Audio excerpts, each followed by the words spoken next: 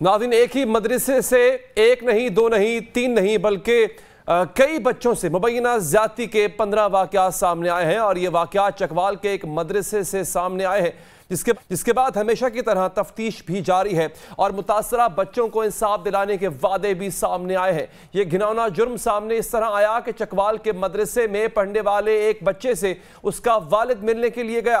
तो बच्चे ने बताया कि दो इस ने इसके साथ और दीगर बच्चों के साथ गलत हरकत की हैं और वह चाकू से डराते भी हैं। इसके बाद यह मामला एक खुली कचहरी के दौरान पुलिस हुकाम के इल्म में भी लाया गया। जिसके बाद पुलिस मदरसे में गई, वहाँ के बच्चों से इंटरव्यू किया तो तस्दीक हुई कि शिकायत दुरुस्त है। इसके बाद बच्चे के वालिद की मुद्दत में ही एफ़ आई आर काटी गई।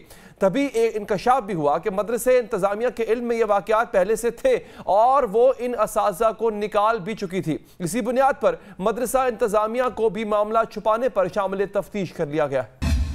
पुलिस ने जीशान और अनीस नामी इन दोनों मुलजमान को गिरफ़्तार भी कर लिया है। यह भी मालूम हुआ है कि मुताय के मुतासरा बच्चों के जिस्मों पर दांतों के निशानात भी हैं। एक मुलजिम चाकू से बच्चों के जिस्मों पर अपने नाम का पहला हर्फ जेड भी लिखा करता था।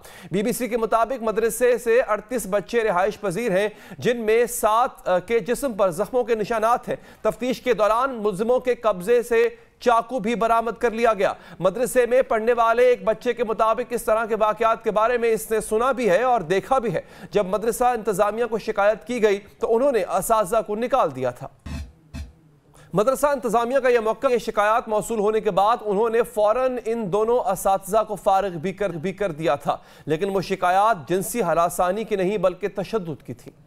निगरान वज़ीर अला पंजाब मोहसिन नकवी भी इस वाक़े का नोटिस ले चुके हैं। मदरसा सील किया जा चुका है। ये बातें भी सामने आ रही हैं कि जिनसी ज्यादती का शिकार बच्चों की तादाद पंद्रह है। लेकिन इनमें से चंद ही हैं जो सामने आना चाहते हैं और कार्रवाई को आगे बढ़ाना चाहते हैं। किसी के ऊपर भी हम ज़बरदस्ती नहीं कर सकते। हमारे पास फैक्ट्स सारे हैं, लेकिन हम किसी वालदेन को ये नहीं कह सकते कि आप ज़बरदस्ती वो चीज़ कराएँ। हमें उनकी प्राइवेसी का एहतराम करना चाहिए। हमें उनके डिसीज़न का एहतराम करना चाहिए। पाकिस्तान में बच्चों से जिनसी ज्यादती के वाकत तशवीशनाक हद तक बढ़ चुके हैं। रोज़ाना बारह से ज़्यादा बच्चे दरिंद, दरिंदगी का शिकार होते हैं। एक रिपोर्ट के मुताबिक 2023 में मार्च तक 2325 लड़कियाँ और 1928 लड़के जिनसी तशद का निशाना बनाए गए। 2022 में मुल्क भर में चार हज़ार दो सौ तिरपन बच्चों को जिनसी तशद का निशाना बनाया गया। इनमें दो हज़ार तीन सौ पच्चीस बच्चियाँ जबकि एक हज़ार नौ सौ अट्ठाईस लड़के शामिल थे। ये अदादोशुमार बच्चों पर जिनसी तशद के खिलाफ काम करने वाली एक ऐसे कौन से इकदाम करने चाहिए कि बच्चे इस तरह के वाकत से बच सकें? फ़िलहाल बात करने के लिए हमें ज्वाइन किया है डी पी ओ हमारे साथ हैं कैप्टन रिटायर्ड वाहिद महमूद साहब डी पी ओ चकवाल। उनसे बात करेंगे, फिर हम बात करेंगे कि क्या स्टेप्स ऐसे उठाने चाहिए कि जिनसे इन इकदाम को रोका जा सके। सबसे पहले तो कैप्टन साहब ये बताइएगा कि क्या क्या तफ्तीश कहाँ तक पहुँची है इस पूरे मामले की? और क्या सामने आया? क्या सिर्फ़ ये दो लोग ही थे जो ये घिनौना काम कर रहे थे और जो मदरसे की इंतज़ामिया है उसकी इन्वॉलमेंट किस हद तक है इस पर बसमीम जुमा के रोज़ सत्रह सत्रह नवंबर 2023 को खुली कचहरी के दौरान ये मामला मेरे नोटिस में आया। हम्म। फ़ौर मौके पे विज़िट करके इसको वेरीफाई किया गया। और दोनों मुलजमान को ज़िला मियाँ वाली और ज़िला रावलपिंडी से स्पेशल टीमें कंस्टिट्यूट करके उनको गिरफ़्तार किया गया। ठीक, ये बताइए कैप्टन साहब कि एक मुकदमा दर्ज हुआ है, वो भी एक एक ही मुतासरा शख्स की मुद्दत में, जबकि खबर तो यह है कि चौदह तलबा के साथ इस तरह की ज्यादती की गई है।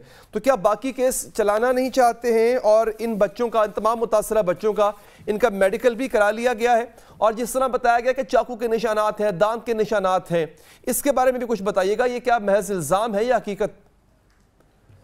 जो मौका पे जो एविडेंस है जो नाइफ़ की सुल्फ की सूरत में है पी एफ़ एस की टीमों ने अच्छा। फुटेजेस हासिल की हैं और साथ में जो ट्रेस एविडेंस के लिए शीट्स हासिल की हैं वो एविडेंस के साथ प्रोसेस की जा चुकी हैं। साथ ही साथ जो पंद्रह विक्टम हैं टोटल उनमें से आ, जो विक्टम हैं प्राइमरीली उनके जिस्मों पे तशद के निशानात हैं जैसे कि जेड का लेटर बनाया गया है उनके जिसम पर और उससे मुतलक और जो मेडिको लीगल सर्टिफिकेट है उसके मतलब तमाम की तमाम चीज़ें सफ़ाई मिसल पे लाई जा चुकी हैं मैं इसमें ये बताता चलूँ कि जो ये निशान बनाने वाला चक्कू था वो भी हम इसको रिकवर कर चुके हैं अच्छा। मुलजम ने इसको तस्लीम किया है कि वो इसकी मदद से सिर्फ़ निशान बनाता था ताकि निशानी रहे कि ये बच्चा हम्म। मेरे पास पढ़ता है और मेरे पास से हिफज करता रहा अच्छा कैप्टन साहब, ऐसे भी सामने आए हैं कि इंतज़ामिया इस वाक़े से आगाह थी कि ऐसा हो रहा है।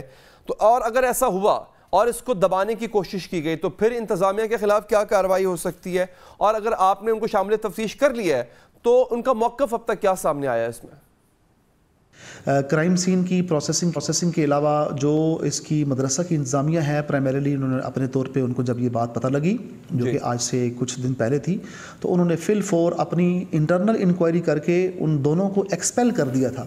अच्छा। लेकिन प्राइमरीली कानून की ज़ुबान में किसी भी गलत चीज़ का होना उसको छुपाना भी उसी के मुतरदफ होता है कि जैसे कि एक क्राइम कमिट हुआ हो। तो प्राइमरीली मुलजमान गिरफ़्तार हैं। इंतज़ामिया के ख़िलाफ़ जो है वो सिर्फ़ जुर्म को छुपाने की नोयत की हद तक उनकी ज़िम्मेदारी है हम्म। और मैं ये समझता हूँ कि जब भी कोई ऐसी चीज़ आपके नोटिस में आए जो जुर्म से मुतल है तो विद इन नो टाइम जो इस तरह का हीनियस क्राइम है वो नोटिस में लगाया जाना चाहिए ताकि जो असल किरदार है उनको सज़ा मिल सके। अब देखें, असल किरदार अब भी जो है उनको सज़ा मिल रही है या वो अपनी चार रोज़ा जिसमानी रिमांड पे पुलिस के पास हैं इन्वेस्टिगेशन के सारे मराहल पूरे की जा रहे हैं, उनकी पॉइंटेशन पे कुछ चीज़ें बरामद भी की गई हैं। ठीक है। अच्छा इस तरह के वाक़ात आइंदा ना हो, इस हवाले से पुलिस कोई मैकेनिज्म तैयार कर रही है? अपार्ट फ्राम दिस चूँकि मदरसा मदरसा की इंतज़ामिया को इस बात का इधराक था उन्होंने फ़ौर फिल फोर उन्होंने जैसे ही नोटिस में उनके आया उन्होंने बंदों को एक्सपेल किया है। अच्छा। आ, लेकिन इसमें ये ज़िम्मेदारी का नमूना जो एक माशरे का भी है कि अगर कहीं पे भी आप कोई चीज़ देखें तो फ़ौर बताएँ ताकि पुलिस उसके ऊपर एक्शन कर सके। Apart from apart from this वालदेन की ज़िम्मेदारी है, अगर खुदा न खास्ता कोई ऐसी चीज़ आपके नोटिस में आती है फिल फोर वन फाइव पर कॉल करें ताकि पुलिस अपना काम एज़ पर ला सर अंजाम दे सके। अभी जो हमारी टीमें हैं, वो इस केस के ऊपर स्पेशल टीम कंस्टिट्यूट की गई है। रिहेबिलिटेशन प्रोसेस में हम तहफ़ मरकज़ के तहत तमाम जो इसके विक्टम्स हैं उनको रिहेबिलिटेशन करने के लिए उनके मुख्तलिफ़ स्कूलों में दाखिले के लिए डिप्टी कमिश्नर साहिबा की मदद से वो तमाम इकदाम हम ला रहे हैं ताकि उनको दोबारा हौसला अफजाई करके उनको माशरे का एक फ़ाल रुकन बनाया जा सके। ठीक है। इसके साथ साथ जी जी, जी। तमाम चीज़ें हैं। हमने जिनसी ज्यास्ती करने वाले जो जितने भी ये ग्रुप्स हैं या जो बच्चों के स्कूल्स हैं कॉलेजेस हैं वहाँ पे हमने एक कैंपेन चलाई हुई है जो पिछले छः माह से चल रही है। टीचरों को की जिम्मेदारियाँ क्या हैं? बच्चों की ज़िम्मेदारियाँ क्या हैं? वालदेन की ज़िम्मेदारियाँ क्या हैं? किस किस्म की आप उनके अंदर चीज़ें देखें तो आपको शक होना चाहिए कि आपका बच्चा अच्छा। चाइल्ड अब्यूज़ के ज़ुमरे में आ चुका है। तो मुझे उम्मीद है कि इस आगाही मुहिम के साथ रिहेबिलिटेशन प्रोसेस के साथ चूँकि इस इसमें मैं अक्सर एक बात कहता हूँ कि चकवाल एक पुरमन ज़िला है। इसमें शहीदों और गाजियों की सरजमीन है। इनमें से किसी जो जो कभी हमल है, इसमें कोई चकवाल का शख्स इसमें शामिल नहीं है। लेकिन बैरून अजला से अचानक जो बंदे रखे गए एक हिफ्ज़ के शोबा में, उनसे ये जो भी मामला सरजद हुआ है प्राइमरली उनकी एजेस छोटी थी। अठारह साल और तेईस साल इस के एजिस थी। तो मैं समझता हूँ इस कम अज़ कम बेर मिनिमम उनको पैंतीस साल का होना चाहिए या शादीशुदा होना चाहिए और साथ ही साथ उनका साइकोलॉजिकल असेसमेंट करवाना चाहिए। और मुझे उम्मीद है कि इसके मुतालिक कल चीफ़ मिनिस्टर साहब ने ऑर्डर्स दिए हैं और इसके ऊपर अमल करने के लिए कमिश्नर पिंडी और डिप्टी कमिश्नर चकवाल जो है इसके ऊपर एक्शन प्लान दे चुके हैं।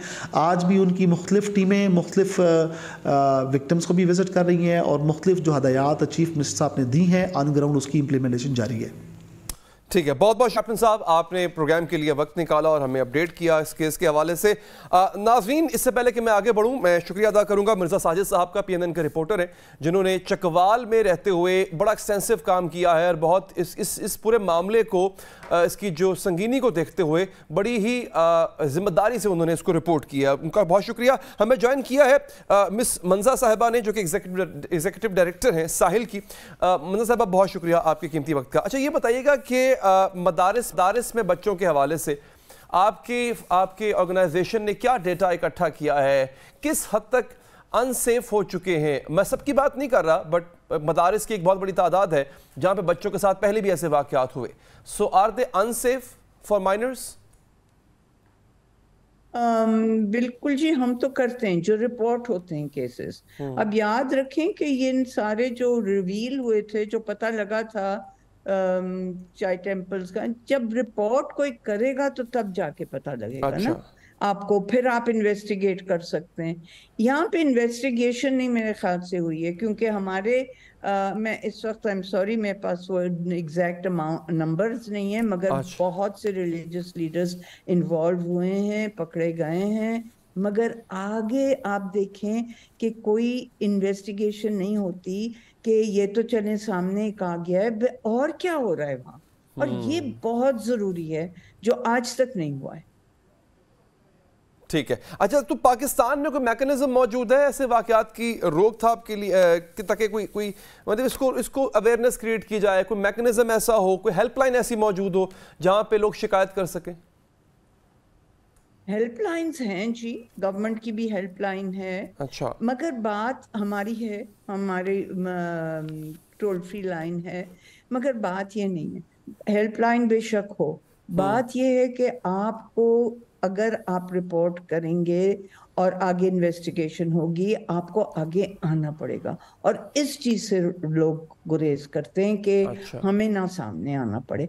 अब ये नहीं हो सकता बिकॉज़ एविडेंस के लिए या वो चीज़ें ज़रूरी हैं। तो ज़्यादातर यही होता है कि लोग कहते हैं चुप्पी करो बताओ ही ना। हम्म। इसमें तो पूरा प्रोसेस होना होगा आपके रिपोर्टिंग होगी। तो इस चीज़ की वजह से ये आगे आता नहीं है। मगर देखें जब एक मदरसे से यहाँ तो पंद्रह बच्चों की निकल आई ना सामने हम्म। मगर एक बच्चे का भी रिपोर्ट होता है। आप मुझे बताएँ कि फ़र्ज़ बनता है या नहीं? हुकूमत का के अंदर जाके देखें कि क्या हो रहा है। और हर मदरसे में चेक करें, क्या कैमरास कोई लगे हुए हैं? क्योंकि ये ये इस तरह नहीं रुक सकती आसानी से चीज़। जब तक आपकी मॉनिटरिंग अच्छी ना हो, जब तक आप पहुँचे ना उधर, और जब तक आप कोई मॉनिटरिंग मेकनिजम्स ना इन प्लेस करें ये बहुत ज़रूरी है। अच्छा, डॉक्टर साहब अर्ज़ ये है कि मैं मैं तुम्हें चाहूँगा ज़रा इसको आप मज़ीद खोल के बयान कीजिए क्योंकि बहुत सेंसिटिव टॉपिक है ये। लोग और ख़ास तौर पे वालदेन सुनना चाहते हैं। दूसरा ये कि मदारस के साथ ही ऐसा क्यों? मदारस में ही ऐसा क्यों हो रहा है? बच्चे अपने वालदेन को मैं तो ये तो नहीं कहूँगा कि मदारस बंद कर दें ये बहुत बड़ी तदरीस गाह तारीखी तदरीस गाह अगर देखा जाए तो हमारा कल्चर इससे वाबस्ता है। तो किस तरह से मेकनिज़म ऐसा बनाया जाए कि मदारस को सेफ़ किया जाए बच्चों के लिए? बिल्कुल। देखिए बहुत सी चीज़ें हैं और अलग अलग हैं। अच्छा। अगर आप मदरसों की बात करें तो मुझे तो बिल्कुल इतना शौक लगा जब मुझे पता लगा कि वालदेन खुद ही कहते हैं कि जी गोश्त आपका हड्डियाँ हमारी। अब ये बार बार मुझे सुनाया गया है इससे मैं समझती हूँ ये होता है। हम्म। दूसरी चीज़ ये है आप जब बच्चों को छोड़ आते हैं चाहे किसी के घर में चाहे मदरसे में हम्म। और आप उनके हवाले कर देते हैं तो फिर तो ये बात होनी होनी होगी कि हम्म। वो जहाँ पे रोब उनका चलता है जहाँ पे वो उनकी मर्ज़ी चल रही है वो ऐसी बिहेवियर आ सकते हैं सो so, एक तो ये है कि आप अपने बच्चे को किसी के हवाले नहीं कर सकते ये तो पक्का है एक एक जो सब पेरेंट्स हर इंसान को पता होना चाहिए अच्छा। दूसरा बच्चों को भी बताना है हमने बहुत अवेयरनेस की है और बच्चों को हम बताते हैं हम्म। कि जी आपने बहुत महतात रहना है मगर मोहतात रहना है मगर मगर बात यह है कि बच्चे को और भी बहुत कॉन्फिडेंस देना पड़ता है साथ वरना हम आमतौर पे बच्चों को कहते हैं तुम शायद कोई ऐसे ही बना रहे हो कहानी खास तौर पे जब करीबी लोग या पावरफुल लोग जिनके पास ज़्यादा ताकत है वो जब आपको डराएँगे तो आपको बहुत कॉन्फिडेंस एज अ बच्चा चाहिए कि आप आगे बात हम्म। करें सो आप कॉन्फिडेंस बढ़ाएँ बच्चों की वालदेन के लिए एक ये वैसी बात है हम्म। रबता रखें प्यार से बात करें और इतनी उनको कॉन्फिडेंस दें कि वो आके आपको बता सकते ये तो सारी ये बातें हैं जो बहुत ज़रूरी हैं अगर हम चाहते हैं अच्छा इसमें देखिए एक, एक, एक बात मैं यहाँ पे रजिस्टर करवाता चलूँ कि ये मैंने जैसे कि इससे पहले वाले सवाल में कहा कि इस्लाम का इस्लाम की इस्लाम की तबलीग में बहुत बड़ा किरदार रहा है मदारस का और आज भी है। लेकिन ऐसे मदारस और वहाँ पे मदारस भी ऐसे नहीं हम मदारस को नहीं कह सकते वहाँ पे मौजूद लोग इस बाज ऐसे क्या मैकेनिज्म बनाया जाए कि वो सेफ़ हो जाए महफूज हो जाए? सीसीटीवी कैमरे लगाए जाए क्योंकि देखें हम देखते हैं स्कूल्स में मॉडर्न टेक्नोलॉजी का इस्तेमाल किया जा रहा है मदारस में नहीं किया जा रहा। हम्म, मेरा ख्याल है नहीं जी मेरा ख्याल है ये जो अब केस सामने आया है अब इस पे बहुत बात होनी चाहिए क्योंकि पहले इंडिविजुअल केसेस आए हैं आई थिंक वो वैसे ही दब गए हालाँकि हमने लीगल केस भी देते हैं फ्री लीगल एड देते हैं हम हर एक को मगर इतने सामने उस तरह नहीं आते फॉर टेकिंग मतलब कोर्ट केस करना मगर अब देखें अब हम्म। ये इतनी बड़ी बात हुई है अब हुकूमत को चाहिए कि बिल्कुल इनको आ, हर मदरसे में और खुद मॉनिटरिंग रखें हम्म। और कोई ऐसी चीज़ ना हो जा हर कमरे के सामने हो ताकि कोई अंदर बाहर ना जा रहा हो जिसका ना पता लगे हम्म। बाथरूम्स में हो ये बहुत ज़रूरी है। अब इस अब तो हुकूमत को ये करना बड़ा ज़रूरी है। अब अब तो मेरे ख्याल से उनको भी ये समझ आ गई और ये कहना जो मुझे अफसोस है कि आज लिखा हुआ था कि जी एक मदरसे में हुआ है तो ये तो नहीं ज़रूरी कहीं और। नहीं जी बिल्कुल ज़रूरी है क्योंकि जहाँ बच्चे पूरे एक अडल्ट के काबू में हैं काबू में हैं आप सोचिए यहाँ पे। उनके साथ ये हो सकता है बिल्कुल हो सकता है। और यहाँ ज़रूर हो रहा होगा क्योंकि हमें पता है कि यहाँ पे चलता है। डॉक्टर साहब बहुत बहुत शुक्रिया आपने आपके लिए वक्त निकाला। मगरब में वाकत सामने आए थे। और ही एक दो मदरसे या किसी एक आधे चर्च के नहीं बल्कि सैकड़ों चर्चेस के और पूरा वैटिकन हिल गया था। फिर इस पर मैकेनिज्म बना इस पर तमाम के तमाम जो उनके ब्रेन्स हैं वो बैठे। आ, इंडिया के अंदर जो है वो टेम्पल्स और मंदिरों के हवाले से स्कैंडल सामने आए थे तहकीकात हुई फिर मैकेनिज्म बनाया गया। पाकिस्तान में मदारस के हवाले से ऐसी शिकायत आना कोई पहली बार नहीं है। हालाँकि इसका मैग्नीट्यूड बहुत ज़्यादा है लेकिन ये कोई पहली शिकायत नहीं है। हमें भी चाहिए कि हम इसका कोई मैकेनिज्म तय करें ताकि बच्चे भी खुद को महफूज महसूस करें और मदारस के ऊपर भी जो एक कुल्ली तौर पर दाग आ रहा है, वो भी धुल जाए, वो दाग ना आए। एक वक्फा लेंगे नाजरीन और वक्फे के बाद हाजिर होंगे। ब्रेक के बाद हाजिर है नाजी इंतबात के लिए हमवार मैदान न मिलने के शिकवे तो पहले ही थे। अब इंतबात के नतज पर अभी से तहफु तहफात का इजहार भी सामने आ गया है। यानी वो इलेक्शन जो होने नहीं, हुए नहीं, वो नतज जो आए नहीं, इन पर शिकायत और खदशात का सिलसिला भी शुरू हो गया है। पीपल्स पार्टी के चेयरमैन बिलावल भुट्टो जरदारी ने आज नौशहरा में जलसायाम से खिताब किया और ये अंदेशा ज़ाहिर किया कि इलेक्शन के नतज पहले से तय कर लिए गए हैं। साथ ही उन्होंने ये भी बता दिया कि ऐसे इलेक्शन के नतज तस्लीम नहीं किए जाएँगे और नतज तस्लीम न करने वाला फरीक एहतजाज का रास्ता अख्तियार करेगा।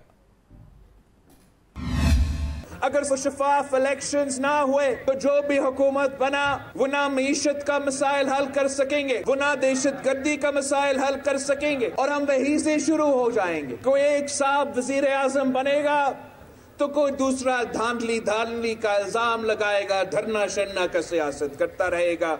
बिलावल भुट्टो, इससे पहले मुताद तकारीर में ये शिकवा भी कर चुके हैं कि इनकी जमात को इंतबात के लिए के लिए हमवार मैदान फराहम नहीं किया जा रहा, जबकि इनके वालिद आसिफ अली जरदारी का यह बयान सामने आ चुका है कि इन्हें इलेक्शन कमीशन पर पूरा एतमाद है, वो शफाफ इलेक्शन कराएगा, जिसके बाद पीपल्स पार्टी मुल्क की अक्सरियती पार्टी बनकर सामने आएगी। लेवल प्लेइंग फ़ील्ड में किसी के लिए किसी एक के लिए तो है। लेवल प्लेइंग फ़ील्ड नहीं है। Level playing field Pakistan People's Party को कभी नहीं मिली। अगर आज भी कोई समझता है कि वो ज़बरदस्ती किसी को वज़ीर आज़म बना सकते हैं तो ये इनका गलत फहमी है। सदर आरिफ अलवी भी निगरान वज़ीर आज़म अनवारुल हक काकड़ को खत लिख चुके हैं, जिसमें उन्होंने तमाम जमातों को लेवल प्लेइंग फ़ील्ड न मिलने के खदशा, खदशात पर बात की थी, जिसके जवाब में इलेक्शन कमीशन ने सदर मुमलिकत का नाम लिए बगैर एक बयान जारी किया था और कहा था कि एक आला अहदेदार आने वाले इंतबात की शफाफियत मशकूक बनाने की कोशिश कर रहे हैं। निगरान वज़ीर आज़म भी कह चुके हैं कि इलेक्शन में तमाम फरीकों को हमवार मैदान मैसर। सियासी फरीकों के तहफात की एक वजह यह भी है कि सियासी फिजा मुस्लिम लीग नून के हक में हमवार नज़र आती। कभी मुस्लिम लीग नून के हसन इकबाल मुतालबा करते हैं कि एक मज़बूत हुकूमत दरकार है, कभी साद रफीक इन लोगों का शुक्रिया अदा करते हैं जिन्हें यकीन है आइंदा वज़ीर अजम नवाज़ शरीफ होंगे। और कभी मरियम औरंगज़ेब बयान देती हैं मुखालफी भी जान चुके वज़ीर अजम नवाज़ शरीफ होंगे। अगली हकूमत में हमें एक मज़बूत हुकूमत चाहिए। हम हर उस दोस्त के और सियासी हरीफ के शुक्रगुजार हैं, जिसे ये यकीन हो गया है कि अगले वज़ीर अजम मियाँ मोहम्मद नवाज़ शरीफ होंगे। इस पे मैं उनका शुक्रिया अदा करता हूँ। सियासी तारीख इस बात की शाहिद है कि अगर इंतबी अमल मशकूक हो तो इसके नतीजे में बनने वाली हुकूमत के पैर मज़बूत नहीं होते। जैसे 2018 के इंतबात से पहले एक खास जमात के हक में सियासी वफादारियाँ तब्दील कराई गई और इंतबात के रोज नतज की तरसील वाला निज़ाम भी बैठ गया। तो इलेक्शन के नतज पर सवाल उठे थे और दो हज़ार अठारह में बनने वाली हुकूमत को सिलेक्टेड के ताने सहने पड़े थे। बात करेंगे इसी हवाले से। हमें ज्वाइन किया है मुस्लिम लीग नवाज़ रहनुमा जनाब रोहेल असगर साहब। ने रोहेल असगर साहब बहुत शुक्रिया आपके कीमती वक्त का। बिलावल भुट्टो कहते हैं, सिलेक्शन होने जा रही है, ये इलेक्शन नहीं है। नतज जो भी आएँगे इस इस अरेंजमेंट के तहत हम एहतजाज तजाज करेंगे। जरदारी साहब जो है वो इलेक्शन कमीशन पर अतमाद का इजहार कर चुके हैं।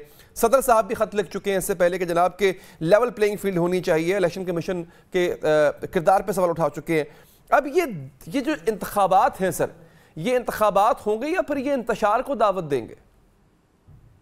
असल में आ, मैं आपको गुजारिश करूँ जो तो सियासी सोच सब में जो बूझ रखते हैं ना जी। कोई सेशन बातें नहीं करते वो अपने कंसंट्रेट करते हैं अपने इलेक्शन के इलेक्शन कंपेन पे। बराबर भुट्टो साहब क्यों कह रहे हैं वो मुझे समझ आती है। वो मैं अच्छी तरह जानता हूँ क्यों कह रहे हैं इस बात को। लेकिन मेरा ख्याल है उनकी ये बातें जो है ना वो अंदाज नहीं होती। उनका ख्याल ये है मैं मेरी मेरी जाती राय है। जी। मेरा ख्याल है कि उनको ये बात परेशान कर रही है कि शायद जैसे मियाँ साहब बलूचिस्तान तशरीफ़ ले गए थे, फिर उसके बाद वो पंजाब में एक्टिव हो गए। उन्होंने अपने जो अज़ीज़ दोस्त थे, जो उनसे मतलब किला था, छिपे थे साइड पे हो गए थे, उनको उनसे भी रबते कर लिए। अब ला मोहल्ला मियाँ नवाज़ शरीफ साहब ने सियासत करनी है मुल्की सियासत करनी और मुल्क के अवाम को पे इतमाद भी है। हम्म। भरोसा भी है कि वो जब जब आए हैं उन्होंने पाकिस्तान की बात की है पाकिस्तान के अवाम की बात की है। तो अब पीपल्स पार्टी के पास सवाए सिंध के और कुछ नहीं है उनके पास तो एक दो चार सीटें होंगी इधर उधर की। लेकिन अब उनका ये ख्याल है तो जो मैं समझता हूँ परेशानी है वो ये है कि शायद उनको ये परेशानी है कि मियाँ साहब शायद सिंध में जाएँगे और सिंध में जाके जब वो अपना मौकफ अपने सोच अपने ख्याल का इजहार करेंगे हम्म, हम्म। तो सिंध में एक वैक्यूम तो मौजूद है। ये आप माने या ना माने एक चीज़ तो वहाँ पे है महरूमी तो है। और अगर वो मियाँ साहब लोगों को एडजस्ट करने में कामयाब हो जाते हैं तो जो एक बुत जो बना रखा है जो सिंध में पीपल्स पार्टी ने वो मेरे ख्याल में पाँच पाँच हो जाएगा। क्योंकि अब भुट्टो साहब मरूम खुदा उनको गरी रहमत करे बेनसी भुट्टो खुदा उनको गरी रहमत करे वो कद काट तो नहीं है अब उनके पास।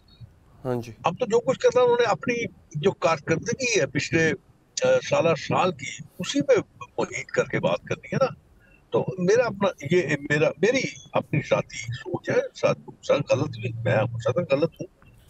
ज़रूरी नहीं कि मेरी बात सच हो अब इस तरह की बातें वो जो करते हैं वो उनका ना गुस्सा रहना पैर है पी साहब को मशवरा दे रहे हैं कि आप क्या आपकी उम्र इतनी होगी आप आराम करें। तो ये मैंने उसको दो तीन दफ़ा ये भी मैं आपके शासन से कह चुका हूँ चैनल ये मुझे जो आप मशवरा दे रहे हैं तो घर में अपने वाले साहब को मशवरा दें तो उनके पास करें बाबा जी आराम करें अच्छा लेकिन सर देखिए ये मामला सिर्फ़ पीपल्स पार्टी की हद तक महदूद नहीं है ना। इलेक्शन कमीशन भी निगरान सेटअप के गुजरा पे सवाल उठा चुका हुआ है। उनकी जानबदारी पर सवाल उठा चुका हुआ। एक, दूसरा, ये निगरान सेटअप बनाया गया है राजा रियाज साहब के साथ मशावरत करके, जो कि उसमें अपोजिशन लीडर थे। वो इस वक्त आपके कैंडिडेट हैं, आपके उम्मीदवार हैं। तो आप इस सबसे कैसे मतलब आप इससे मुतमिन है, सर? देखिए, बात यह है कि इस मुल्क में किसी ना किसी का, किसी के साथ तो ताल्लुक है। ये तो आप नहीं कह सकते ना कि जी कोई किसी का ताल्लुक ही नहीं है किसी का। ताल्लुक होने का मतलब ये नहीं है कि आप उस पर कोई प्रेशर डाल रहे हैं या आप आउट ऑफ़ वे जाके आप उनकी मदद कर रहे हैं ये ऐसा तो नहीं है। हाँ अगर आपको ये कहीं नज़र आ रहा है तो आप बिल्कुल बिल्कुल आप एक्शन ले सकते हैं।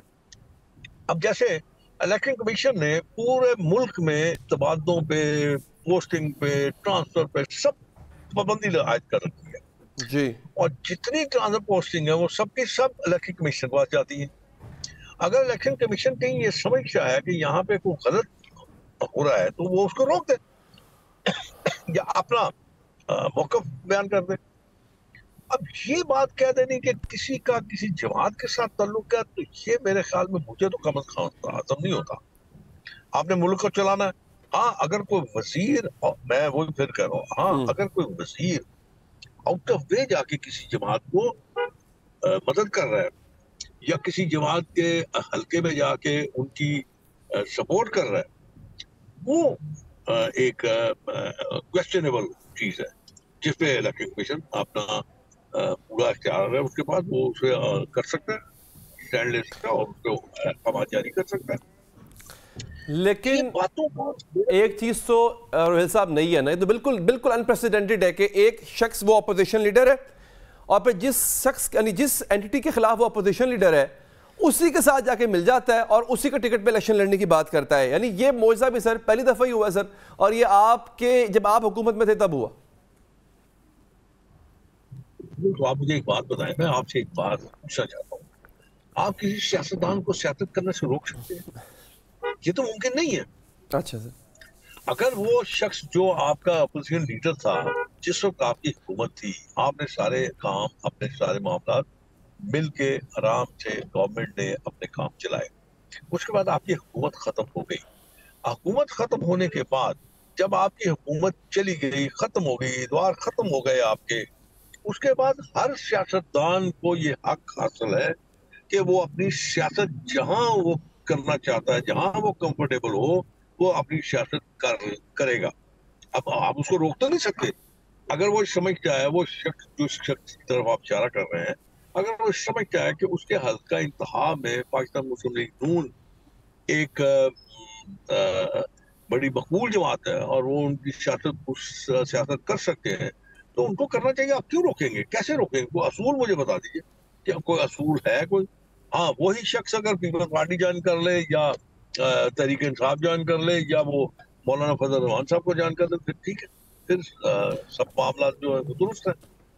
यहाँ पे कदगन है कि आप मुस्लिम लीग नून को ज्वाइन नहीं कर सकते ये ये चीज़ें जो है ना ये मेरे ख्याल में शायद को माइन ही नहीं रखती। आप अपनी नज़र को रखें सियासतदान को चाहिए जो सियासत करते हैं जो वाकई सियासत करना चाहते हैं उनकी नज़र तो आठ तारीख में होनी चाहिए। उनको अपने जो ख्याल हैं या अपना मैनिफेस्टो है वो आवाम की अदालत में पेश करने का पूरा पूरा हक है वो करें। इस किस्म की बातें करने से मेरा नहीं ख्याल कि आप किसी की खिदमत कर रहे हैं या सियासत की खिदमत कर रहे हैं या की खिदमत कर रहे हैं। मैं नहीं समझ इन बातों को। ये इमेच्योर सर देखे जो जो मुमकिन उम्मीदवार जो जो आपको आपके खिलाफ इलेक्शन में यानी सियासत में खड़े होने वाला शख्स जो, जो सामने आता है वो मुश्किल का शिकार हो जाता है। फिर या वो गायब हो जाता है। फिर इस तरह पाकिस्तान बनती है पार्टी वो भी इसी सिनारों की कोख से जन्म लेती है। जो जो गायब होता है जो जो छोड़ के जाता है वो उसमें शामिल हो जाता है सर। ये फरेब कब तक सर? मतलब आ, कल आप मुतासर थे आज आप मंजूर नज़र हैं। अगर आज आप मंजूर नज़र हैं सर तो जो कल गलत था आपके साथ हो रहा आज वो किसी और के साथ हो रहा है तो वो ठीक है? गुजारिश करूँ। मैं एक बात जरा अपने पास लिख के रख लीजिए आप। कि किसी जमात का भी आपस में इतिहाद होता है तो सबसे पहले वो जमात जो होगी, वो अपने इंटरेस्ट को देखेगी। फ़र्ज़ कीजिए कि आपका इतिहाबी इतिहाद हो जाता है में पाकिस्तान के साथ। तो ये मुमकिन नहीं है, जहाँ पे पाकिस्तान मुस्लिम लीग नून के मज़बूत उम्मीदवार हैं, आप इस तरह पार्टी के उम्मीदवार को टिकट दे दीजिए। ये नहीं होगा। इसलिए मैं कह रहा हूँ कि ये बहुत कबल वक्त बातें हैं जो आप डिस्कस कर रहे हैं। वक्त आने दीजिए, उसके बाद आहिस्ता आहिस्ता सारे क्या है वो सारी खुलती चली जाएँगी। आपको पता चल जाएगा कि सियासत में, पहली बात तो यह है कि सियासत में कोई खर पे आखिर नहीं होता। और सियासत में आप अपने जो बेहतरी होती है, आप उसकी तरफ़ कदम ज़रूर उठाते हैं। अगर कहीं किसी जमाती जमात का, जिसके साथ भी आपका इंतहाब इतिहाद है, जैसे मिसाल के तौर पर एम के एम के साथ आपका इंतहाबी, इतिहाद होता है तो उसका बेनिफिट तो दोनों जमातों को मिलेगा। हम्म। उनके वोट जहाँ पे उनका कमज़ोर कैंडिडेट होगा आपका कैंडिडेट उनके बेनिफिशियरी होगा जहाँ उनका मज़बूत कैंडिडेट होगा आपके वोटों को बेनिफिशियरी एम के एम होगी। तो ये चीज़ें जो है आपको इंतहाब से थोड़ा अर्सा पहले इन चीज़ों का बिल्कुल आपको पता चल जाएगा कि किस तरह की शादी चलेगी और किस रुख पर ये शादी जाएगी और ये जो इतिहाद होंगे ये किस तरह होंगे किस तरह इस इतिहाद को आगे लेके चला जाएगा। ये वक्त आने पे मेरे ख्याल में ये आप बहुत सारी चीज़ें जो है आप पे आबशार हो जाएँगी।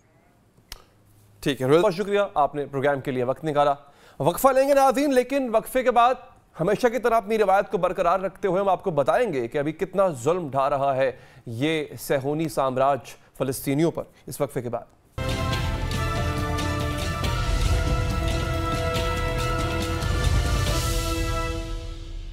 नाजरीन, पता नहीं क्यों पाकिस्तानी मीडिया ओवरऑल देखा जाए तो हमें शायद और तरजीहत हमारे लिए ज़्यादा ज़रूरी हैं और ये आवाज़ें आहिस्ता आहिस्ता खामोश हो रही हैं। फ़लस्तियों की आवाज़ों को खामोश किया जा रहा है कसन या फिर अनजाने में, लेकिन इन ये प्लेटफॉर्म जो है आपको इस हवाले से आगाह भी करता रहेगा और हम आवाज़ उठाते रहेंगे। खूनखार इसराइल ने गज़ा के इंडोनेशियन अस्पताल पर बमबारी की। मैं बताता हूँ आपको। लेकिन जो आपने विजुअल्स देखे हैं ना ये एक ऐसी माँ की आवाज़ थी जिसके घर में उसका पूरा ख़ानदान, उसकी कुल कायनात, उसकी कुल दुनिया जो है उसके उसके घर में मौजूद थी। एक बॉम्ब गिरता है और वो उसकी सारी कायनात उस वक्त उजड़ जाती है, ख़त्म हो जाती है। ये विजुअल्स आपने जो देखे हैं, मैं चाहूँगा आप लोग इसको रिपीट पे देखिएगा। अब मैं बताता हूँ हुआ क्या। इंडोनेशियन अस्पताल पर बम बरसा दिए हैं इसराइल ने, जिसके नतीजे में डॉक्टरों समेत 12 फलस्तीनी शहरी शहीद हो गए, जिसके बाद शोदा की तादाद तेरह हज़ार हो गई है। फजाई हमले के बाद इसराइली फौज ने अस्पताल का घेराव भी कर लिया है और लोगों पर गोलियाँ भी बरसाई जा रही हैं। उधर आज बच्चों के आलमी दिन पर भी फलस्तीनी बच्चों के जनाजे उठ रहे हैं। फलस्तीनी हुकाम के मुताबिक गजा में अब तक इसराइली बरबरीत से साढ़े पाँच हज़ार बच्चे जाम शहादत नोश कर गए हैं, जबकि अस्पतालों पर बमबारी से कबल अज वक्त पैदा होने वाले बच्चे भी जान से चले गए। अट्ठारह सौ बच्चों के मलबे तले दबे होने की इतलात हैं, जिनमें से अक्सरियत के शहीद होने का खदशा है। यूनिसेफ के मुताबिक हर 10 मिनट में एक फ़लस्तीनी बच्चा ज़िंदगी खो रहा है, जिसे बजा तौर पर फ़लस्तीनी बच्चों का होलोकॉस्ट कहा जा सकता। अल जजीरा की रिपोर्ट के मुताबिक इसराइली फौज ने तीन सौ पैंसठ मुरबा किलोमीटर पर मुहित और 22 लाख आबाक आबादी पर मुश्तमिल गजा की पट्टी पर इतने बम बरसाए हैं कि बदकिस्मत शहर का नक्शा ही बदल गया है। सात अक्टूबर से अब तक तकरीबन दो लाख मकानात मलबे का ढेर बन गए अकवा मुतहदा के मुताबिक इसराइली हमलों के बायस कम अज कम पैंतालीस फ़ीसद घर मुकम्मल या जजवी तौर पर तबाह हो गए। इसके अलावा अस्पताल इबादत गाहें बेकरियाँ, वाटर फिलिंग स्टेशन, बाज़ार और तालीमी इदारे भी तबाह हो चुके हैं। इसराइली सरहद से तकरीबन तीन किलोमीटर जनूब में तात्रा का इलाका उजड़ गया। गजा का इलाका बैत हनून, जो इसराइल की सरहद से सिर्फ़ दो किलोमीटर दूर है, वो भी तबाह हो गया है। इसी तरह गजा के शिमाली साहिल पर बहिरा रूम के साथ बाक़ अलकर्रामा भी तहस नहस हो गया। मैं आपको ये तस्वीरी जो है, वो भी सूरत दिखा रहा हूँ। ये आप देख सकते हैं, नाजरीन, क्या सूरत है। दस मई से लेके अब तक, यानी 10 मई से पहले क्या सूरत हाल थी और 7 अक्टूबर के बाद से लेकर इक्कीस अक्टूबर के दरमियान किस तरह से इस पूरी आबादी को उजाड़ के रख दिया गया? नाजिन बैतुल्लाहिया शुजाइया सताई महाजर कैंप के आसपास के इलाके और खान यूनस के इलाके अबासन अल कबीरा में भी तबाही मच गई है। गजा में फलस्तीनियों का होलोकॉस्ट हो रहा है। शर्मनाक बात यह है कि इतने बड़े कत्लेआम पर भी सत्तावन इस्लामी ममालिक उठक बैठक से आगे नहीं बढ़ सके। आज भी बीजिंग में सऊदी अरब, उर्दन, मिस्र, इंडोनेशिया, फलस्तीन के वजरा समेत ओवैसी हुकाम ने चीन के आला सिफारतकार से मुलाकात की और गजा में जंगबंदी के लिए दुहाइयाँ दी हैं। चंद दिन पहले भी इस्लामी ताउन तंजीम यानी ओ आई सी का गैर मामूली इजलास हुआ। लेकिन हसब मामूल ये इजलास भी रस्मी एलामी से आगे न बढ़ सका और इतने बड़े इस्लामी रियासी इज्तम में एक भी इसराइल के खिलाफ मुश्तर कार्रवाई का कोई माहदा नहीं हो पाया। एक तरफ़ मुस्लिम उम्मा की बेहिसी का यह आलम है और दूसरी जानब सिर्फ़ एक यहूद मुखालिफ बयान की हिमायत पर एलॉन मस्क की शामत आ गई है और वॉल्ट डिज्नी समेत अहम कंपनियों ने एक्स को इश्तहार देने पर पाबंदी आयद कर दी है। रॉयटर्स के मुताबिक समाजी रबतों की वेबसाइट एक्स पर एक पोस्ट में कहा गया था कि यहूदी सफ़ेद फाम अफराद के खिलाफ नफरत फैलाने के जिम्मेदार हैं और इलॉन मस्क ने इस पोस्ट से इतफाक किया था। इलॉन मस्क के इस इतफाकिया बयान पर आलम यहूद में हंगामा बपा है। यहाँ तक कि व्हाइट हाउस ने भी इलॉन मस्क पर अमरीकी इकदार की खिलाफ वर्जी करते हुए यहूद दुश्मनी और नस्ल परस्ताना नफरत के फरोख का इल्ज़ाम लगा दिया है। दूसरी जानब से इलॉन मस्क के इस इकदाम को माशी सतह पर भी संगीन नतज का सामना है। डिजनी वार्नर ब्रदर्स डिस्कवरी और कॉमकास्ट के अलावा लायंस गेट इंटरटेनमेंट और पैरामाउंट ग्लोबल ने एक्स को दिए जाने वाले इश्तेहार रोक दिए। मार्केट वैल्यू के लिहाज से दुनिया की सबसे बड़ी कंपनी एप्पल भी अपने इश्तेहार को रोकने जा रही है। इसके अलावा इंफॉर्मेशन टेक्नोलॉजी की दुनिया के एक और बड़े नाम आईबीएम ने भी एक्स पर अपनी तशहर रोक दी। यहाँ से अंदाज़ा कीजिए कि ये लोग कितने तासुब का शिकार। एक ट्वीट किया सिर्फ़ इलॉन मस्क ने और उसके ऊपर हर तरह के दरवाजे बंद कर दिए। हालाँकि यहाँ पे इंसानी जाने वो ज़ाया हो रही हैं। इंसानों को गाजर मूली की तरह काटा जा रहा है। कोई आवाज़ नहीं उठ रही। जिन जिन ऑर्गेनाइजेशंस के मैंने नाम लिए हैं, क्या इन लोगों ने तब बात की जब बच्चों को मारा जा रहा था और अभी तक मारा जा रहा है? नहीं, मगर एक ट्वीट पर किस तरह ये तिल मिला उठे? नादिन मीडिया मीटर्स फॉर अमेरिका का कहना है कि हमने ये देखा है कि ऑरिकल एप्पल आईबीएम और कॉमकास्ट के कॉरपोरेट इश्तहार यहूदी मुखालिफ मवाद के साथ लगाए जा रहे हैं। चंद कंपनियों के मुकाबले में सत्तावन इस्लामी ममालिक की बेहसी देखकर सिर्फ़ यही कहा जा सकता है कि ये मुसलमान हैं जिन्हें देखकर शर्माएँ यहूद।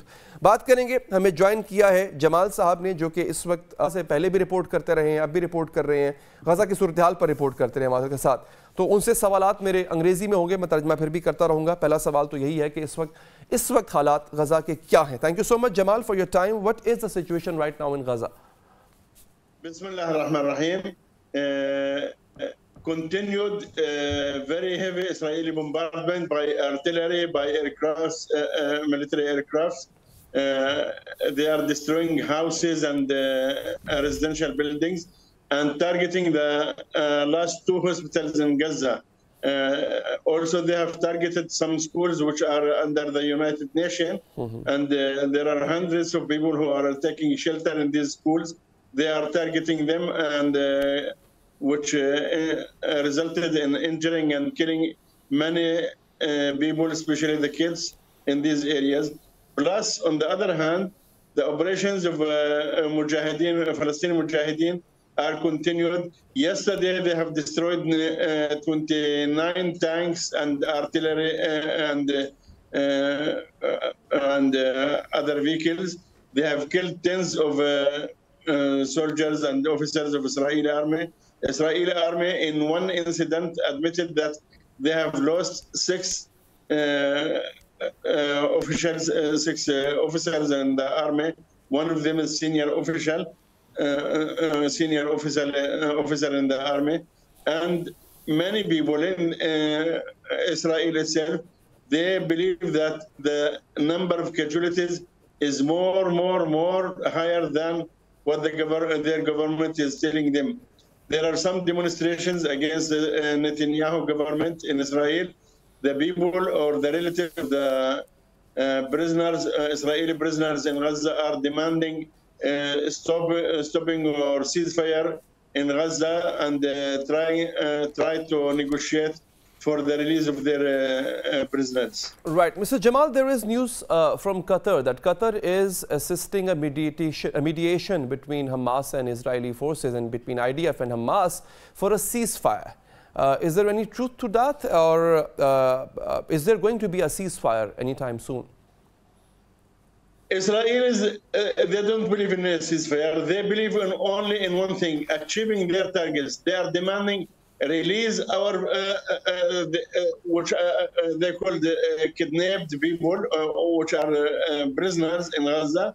And don't ask about anything. We will not allow any food supply for Gaza, any fuel supply for Gaza. We, we will not negotiate about it we will even one drop we will not uh, uh, send for Gaza. But uh, from the other hand, the Palestinian resistance and the Hamas people, they are saying that without accepting our demands of ceasefire, uh, and sending 400 trucks of uh, food supply daily, plus uh, releasing the women and children, uh, Palestinian women and children who were uh, kidnapped or who were abducted by Israeli forces and who were imprisoned in the Israeli jails.